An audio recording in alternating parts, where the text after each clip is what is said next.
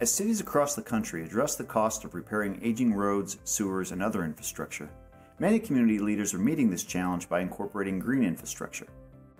When designed and maintained properly, green infrastructure can provide a variety of economic, ecological, and recreational benefits. Green infrastructure serves many purposes, but its primary role involves the management of stormwater.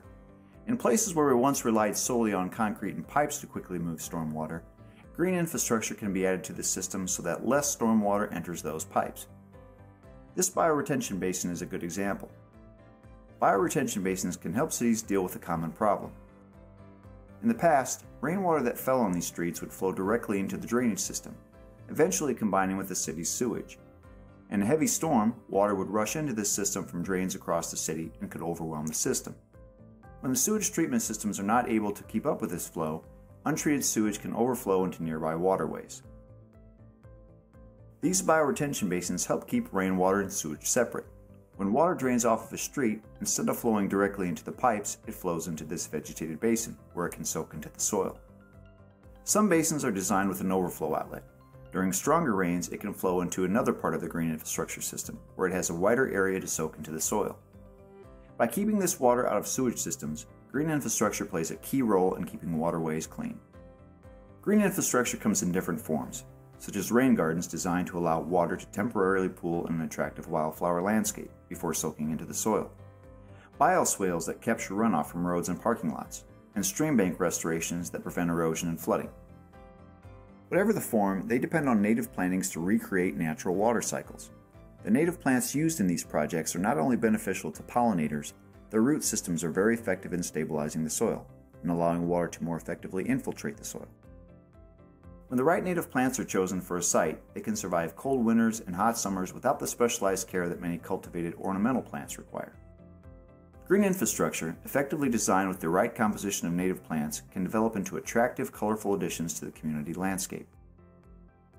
These attractive sites also perform a variety of ecological services, sequestering carbon to help mitigate global warming, filtering pollutants, and reducing thermal pollution by cooling runoff from hot pavement before it dumps into waterways. When these sites include tree plantings, they can also reduce the urban heat island effect, making hot summer days more comfortable. This green infrastructure strategy is not just about wildflowers and ecology. It can also be a part of an important cost-saving strategy. The cost of updating conventional stormwater systems to prevent flooding and overflow into waterways can cost millions or even billions of dollars. Incorporating green infrastructure to reduce the amount of water that enters these systems can save millions. But green infrastructure, like all forms of infrastructure, requires maintenance. Traditional gray infrastructure typically requires subsurface inspection, system flushing, repair or replacement of catch basins and pipes, and other potentially expensive capital improvements. Green infrastructure also requires regular but typically less costly maintenance. A comprehensive maintenance plan is key to achieving the long-lasting form and function that green infrastructure can provide. In the early stages after installation, green infrastructure may require regular weeding and watering until the native plants become established. As the plants mature, watering will typically become unnecessary. Regular monitoring and removal of weeds will continue, but typically become less frequent. Curb cutouts, drains, and traps must be monitored and cleared of any sediment, trash, and debris.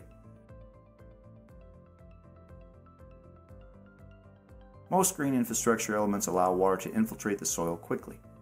A basin that is holding water for extended periods of time needs to be assessed to determine what may be disrupting the flow or infiltration of water.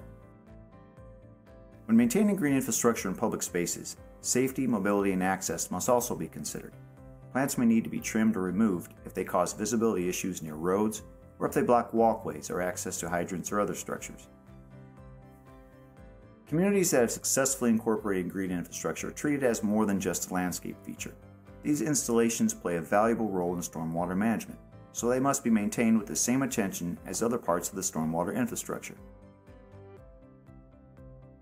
Communities in the Calumet are teaming up to share services for green infrastructure, providing high quality maintenance and ensuring that the sites are cost efficient and performing as designed.